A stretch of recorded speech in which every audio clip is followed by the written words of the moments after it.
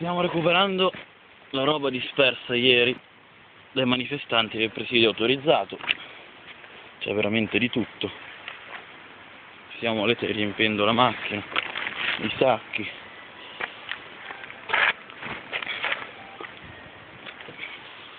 Di questa roba si tenterà il recupero possibile. Si tenterà di avvisare i rispettivi proprietari.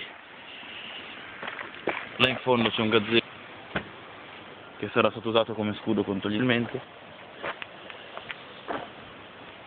Giù ci hanno segnalato altra roba, vediamo queste macchine, partire da qua, tutta roba, ripeto, del